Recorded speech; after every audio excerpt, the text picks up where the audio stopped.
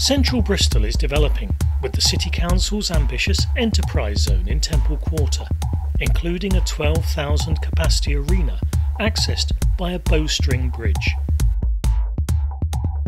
Sisk were the main contractor for the access project, with the bridge built on site and launched over the river by Italian engineers Cimolai Group.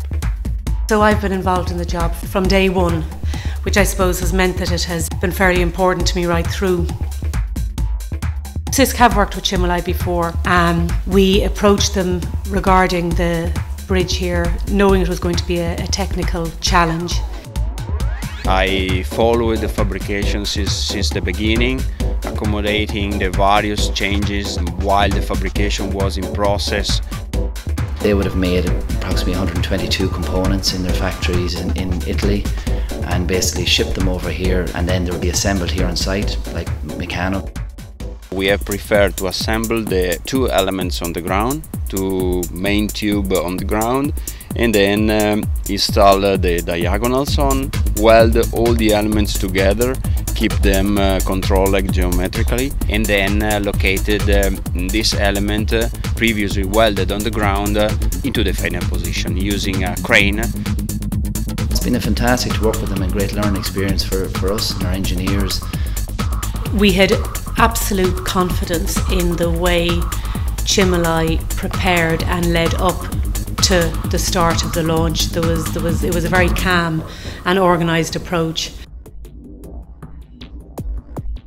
There is uh, one winch uh, that is practically uh, launching the bridge itself uh, with a system of pulleys. Then there is a braking uh, winch uh, that is holding the bridge during the launching. The bridge is sitting on four rollers each time.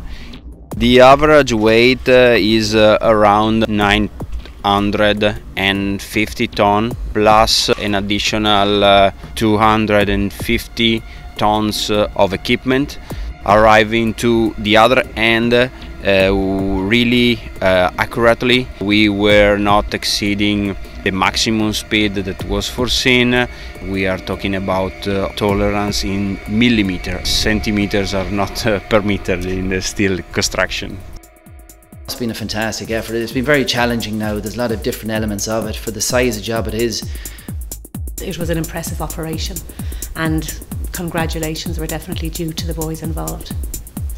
We are a, a group of people uh, focused on the same result uh, to have this bridge uh, completed timely and uh, cost.